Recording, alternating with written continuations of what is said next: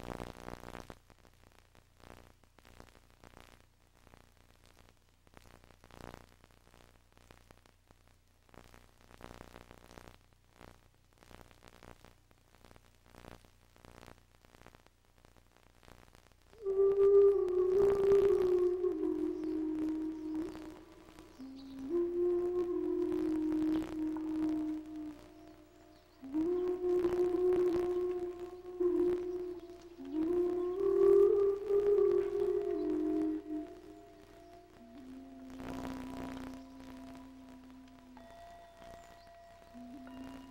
Man follows the ways of earth. The earth follows the ways of heaven. Heaven follows the ways of Tao. Tao follows its own ways.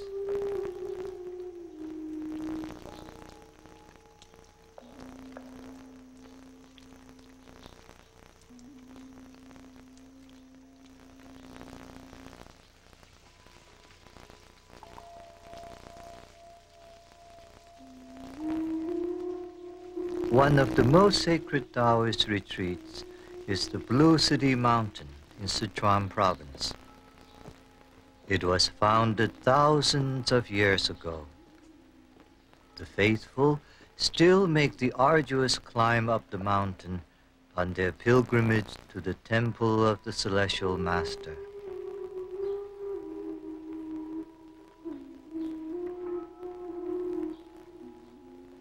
Taoists believe that man is only one element in the universe, a tiny part of an integrated whole. To achieve true peace of mind, he must discover the rhythm of the cosmos. He must learn to live in harmony with nature. He must flow with Tao, the way.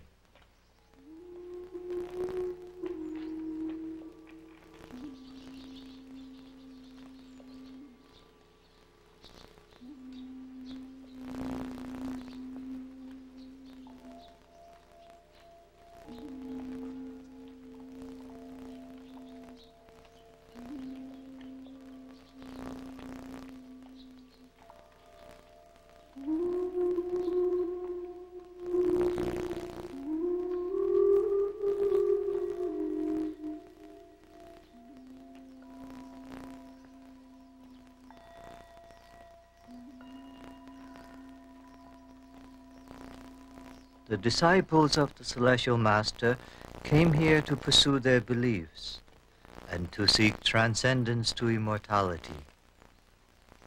In their quest, they practiced alchemy. They experimented with hundreds of natural substances, leading to the use of many plants endowed with the ability to cure common ailments.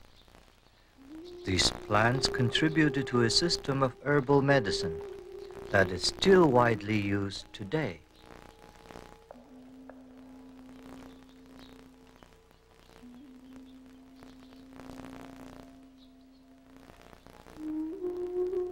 The temple courtyard is surrounded by towering ginkgo trees, a primeval species, symbols of longevity. Ginkgo trees live for hundreds of years, producing nuts highly prized for their curative properties.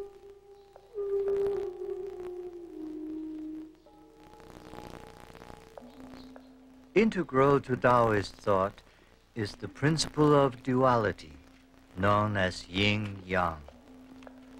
Every aspect of life, all growth, all change, is governed by these two interacting forces. Yin and yang are complementary, like warm and cool, light and dark, male and female. One cannot exist without the other. Well-being is achieved by a constant balance of the two. Foods and cooking also are ruled by this principle.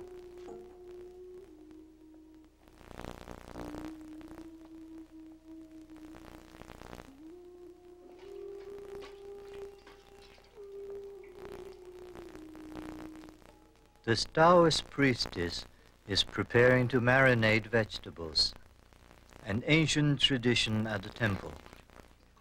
The salt for this process comes from natural brine wells deep within the Sichuan mountains. Salt has been extracted from the underground mines for 2,000 years. It is the mountain salt which brings out the unsurpassed flavor of the savory pickled vegetables.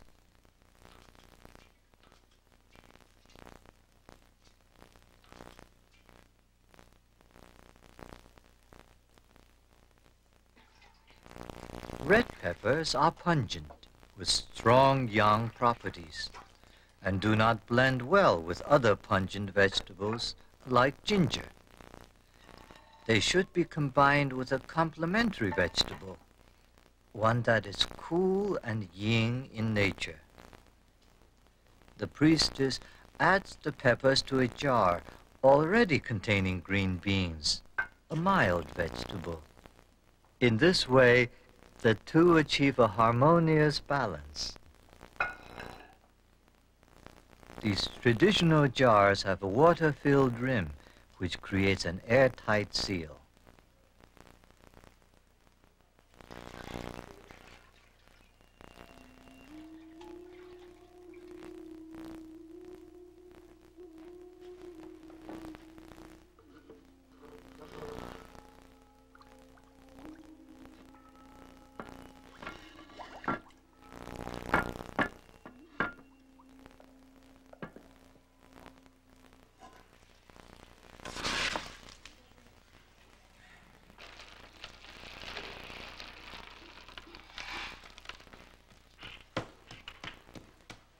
In the autumn, newly fallen ginkgo nuts are gathered.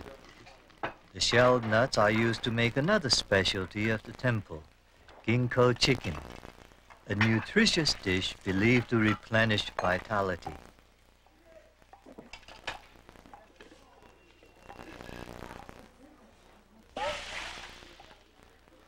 Ginkgo nuts are thought to be yin because the flowers of the tree blooms only in the dark of night.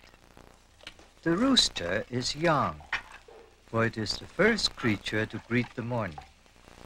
Its comb is believed to absorb the first rays of the sun.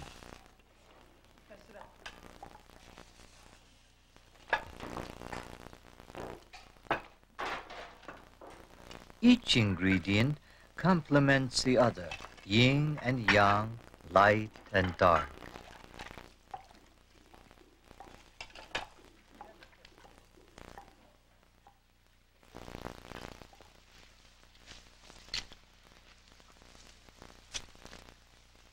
Herb collectors dig for medicinal plants on mountain slopes.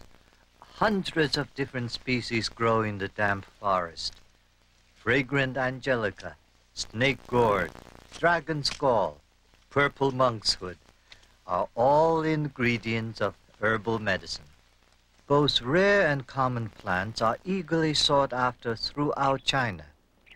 These collectors will sell their herbs in Chengdu, the capital of Sichuan,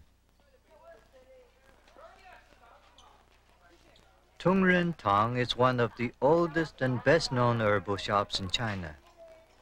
It buys herbs from local collectors and distributes to herbal shops across the country.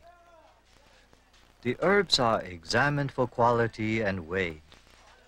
They are sorted, then processed before they can be used.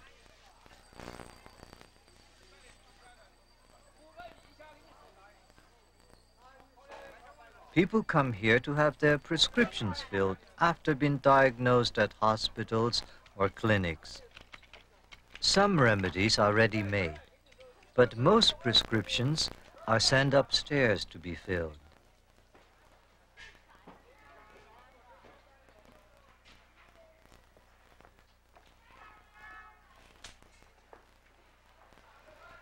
The drawers of the prescription room contains hundreds of substances for herbal medicine makes use of more than just plants.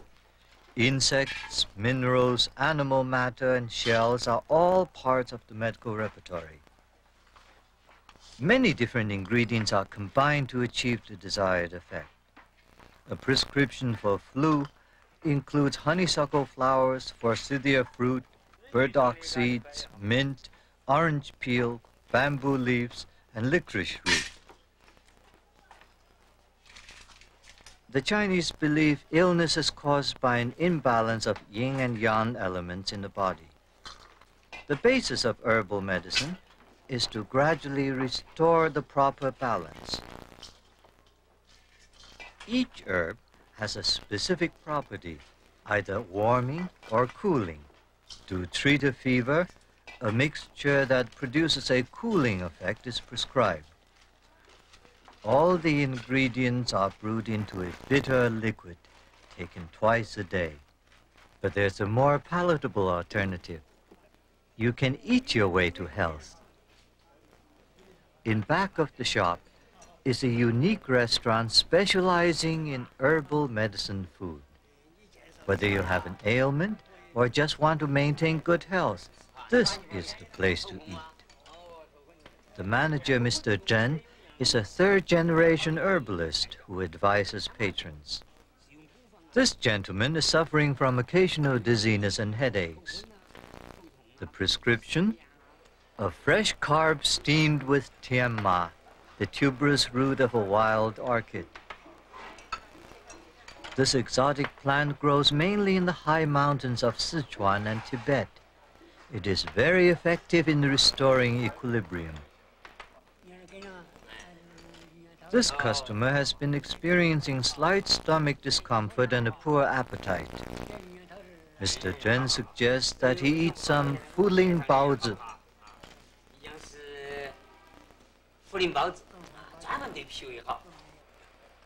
Fuling is a subterranean fungus which grows on the root of pine trees. It's a mild sedative that aids digestion. Fuling is ground into powder and sprinkled in the dough and made into pork-filled buns called baozi.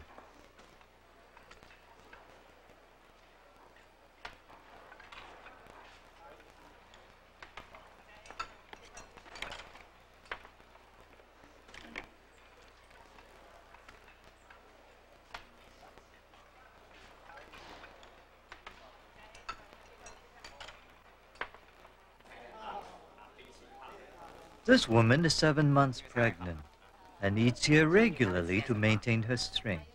Oh, oh. oh. oh.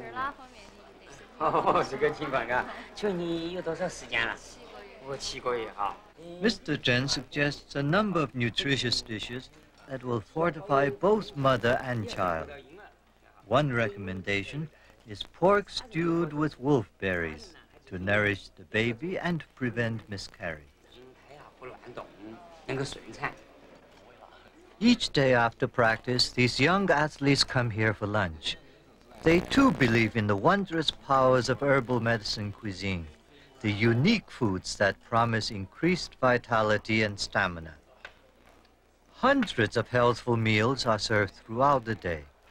The ancient recipes are kept secret, passed on from generation to generation. If you're feeling run down, try this delicacy, topped with seahorse, good for supplementing energy. To replenish vital essence, order these natural curiosities called winter caterpillar summer herb. This unusual dish promises increased virility. Not only is the food therapeutic, it's delicious. The blend of good food and good health gives this unique restaurant its magic allure, attracting faithful patrons like these men, both in their 80s. Although they have a few minor ailments, they're exceptionally spry and alert. The secret, they insist, is their daily dose of herbal medicine food.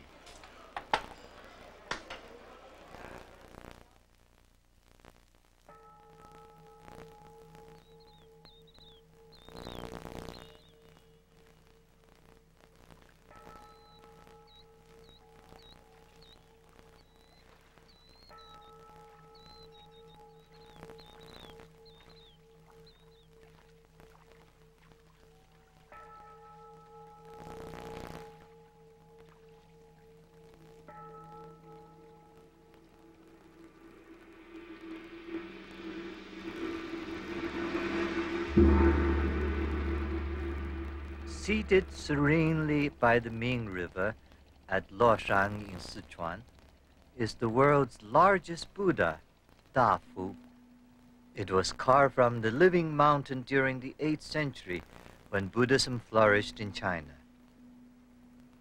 Buddhism came from India and had a profound effect on Chinese life. Its teachings of compassion towards one's fellow man appeal to those whose lives were a daily struggle for survival.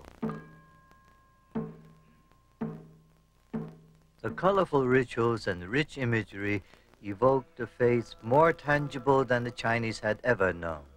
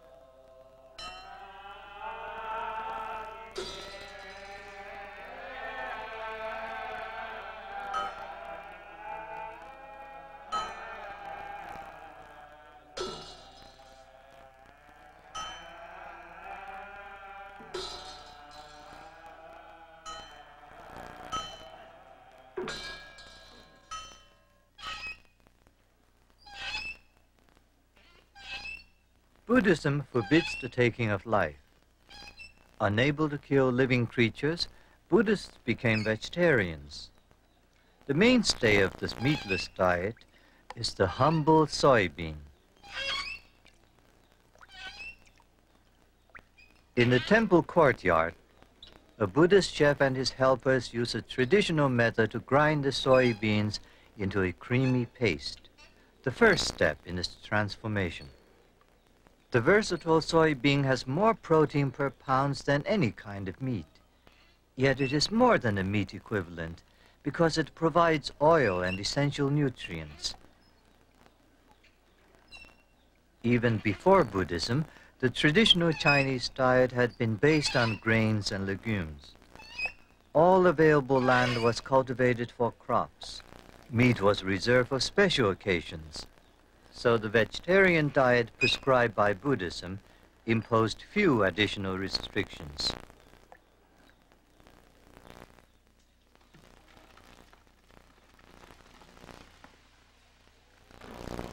Inside the huge monastery kitchen, the creamy soybean paste is mixed with water and boiled to become soy milk.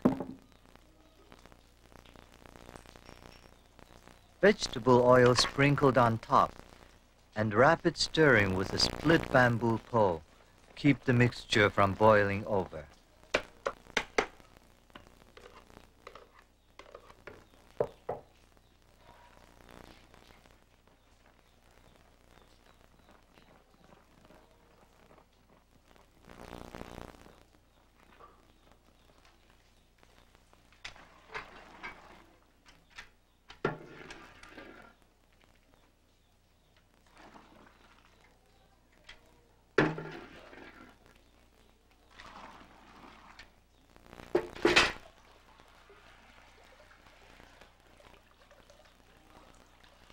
The heated milk is strained through a cotton sack.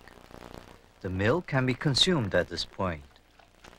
Most Chinese begin the day with a bowl of hot soy milk.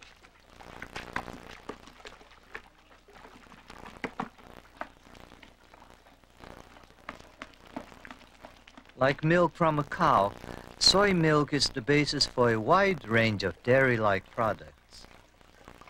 When made into soft curds, it has a texture similar to cottage cheese. When dried, it's like aged cheese. When fermented, it tastes like ripe camembert.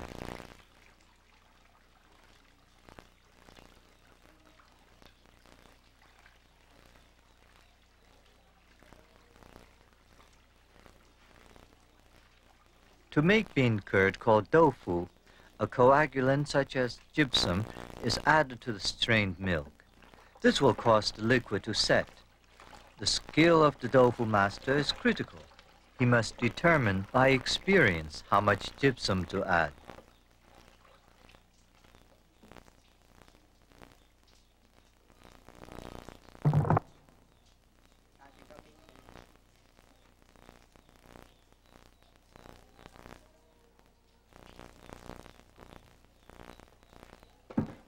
When the liquid begins to set, it's ladled into a wooden mold to cool and drain for a few hours.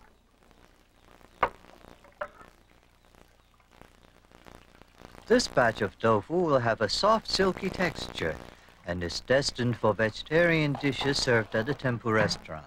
Dishes so tasty they would please even the divine palate.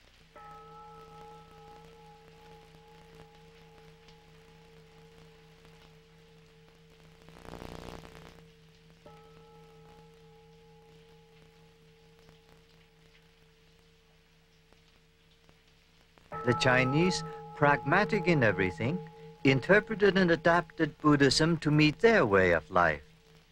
They build temples like Lingyin in the city of Hangzhou, one of the largest in China. The faithful journey here to worship at the altar of the enormous golden Buddha.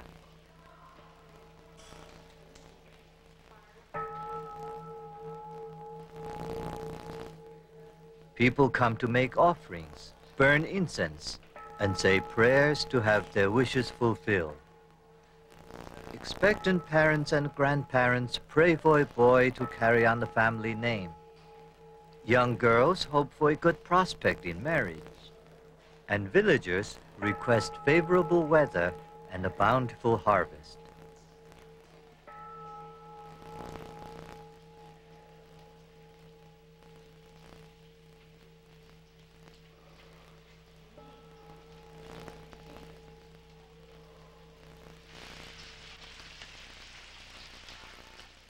The temple attends to both spirit and body.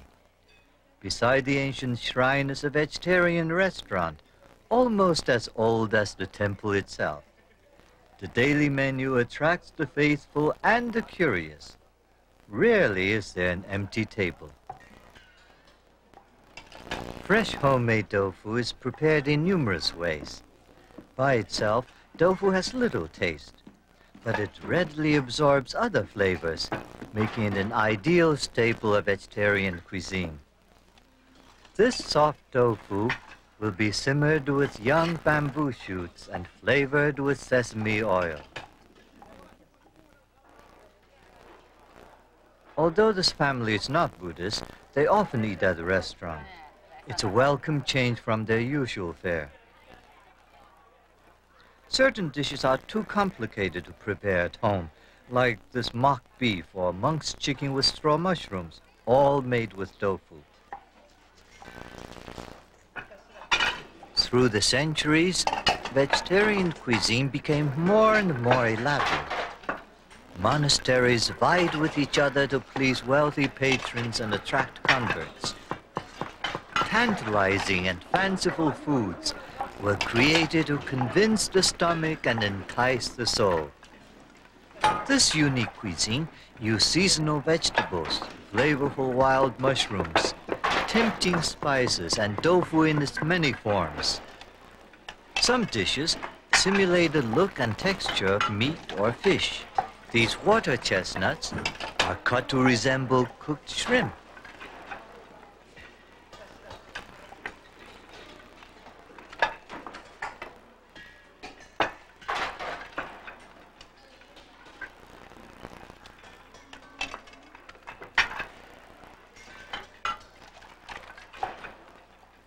Some dishes fool the eye with an elaborate disguise.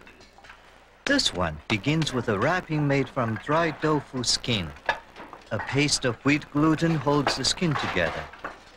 A puree of taro roots and slivered bean curd are spread as filling.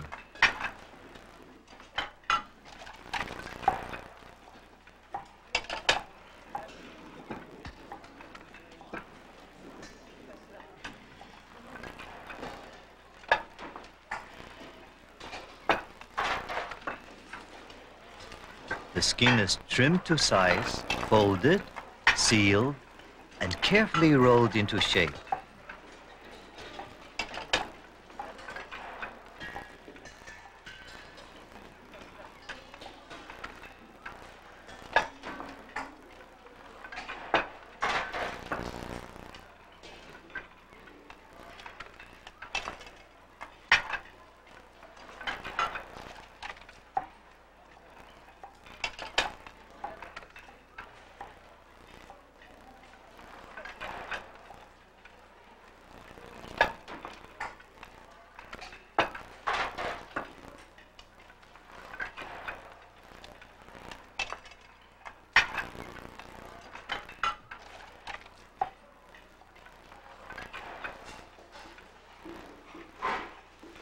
A gill and eye of black mushroom lends a final touch of realism to this vegetarian fish, which will be served in a savory sauce of sweet and sour.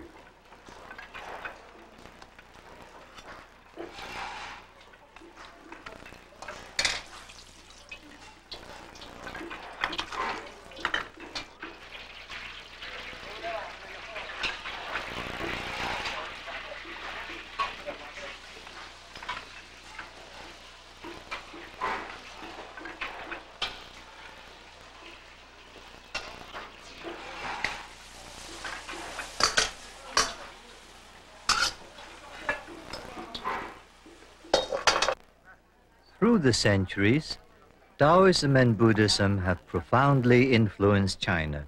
But the Chinese so thoroughly integrated the spiritual principles into daily life that they ceased to be religious practices.